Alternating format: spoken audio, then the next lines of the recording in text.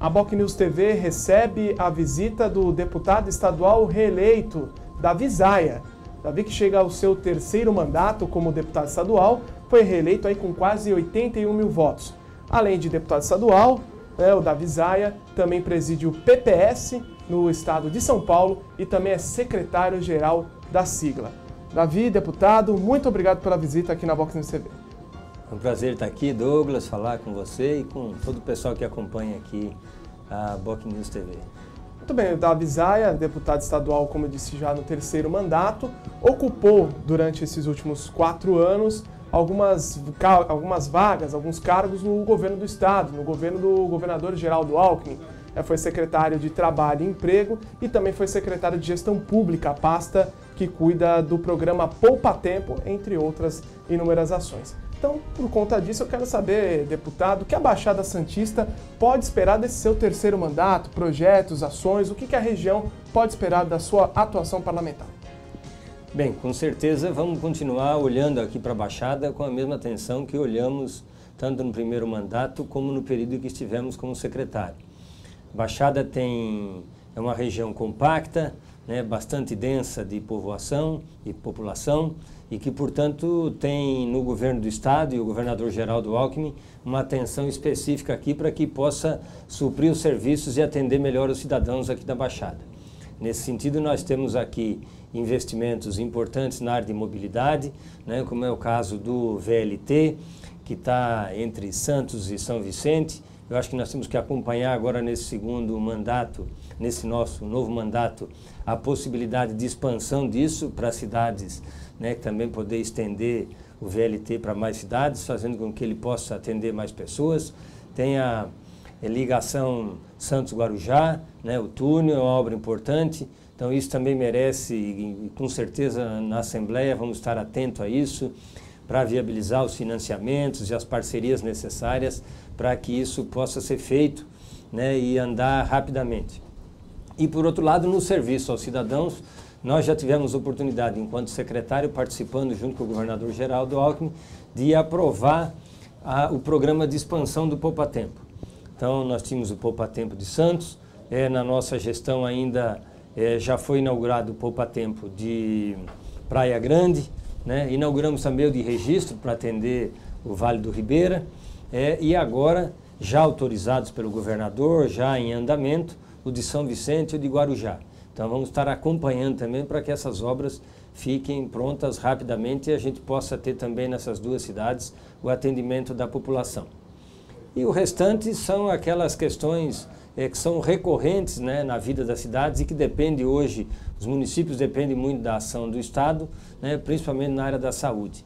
Então, nossa ideia é ter uma atuação na Assembleia é, Legislativa que viabilize, que a gente possa ter tanto recursos do orçamento, como eventualmente financiamentos, né, para que a gente possa garantir que essas obras tenham é, os investimentos necessários e possam ser realizadas.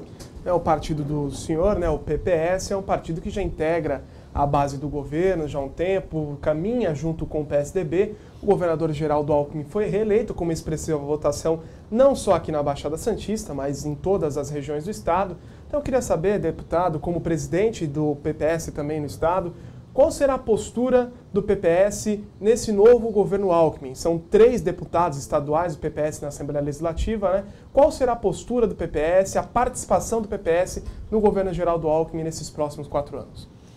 Bem, o PPS né, apoiou o governador com muita satisfação. O governador foi reeleito com uma é, belíssima votação, uma aceitação muito grande aqui no estado de São Paulo. E é preciso dizer que essa votação vem, de um lado, da seriedade com que o governador conduz né, o cuidado com a coisa pública, né, gastando bem os recursos do nosso Estado. E do outro lado, é também a eficiência do governo.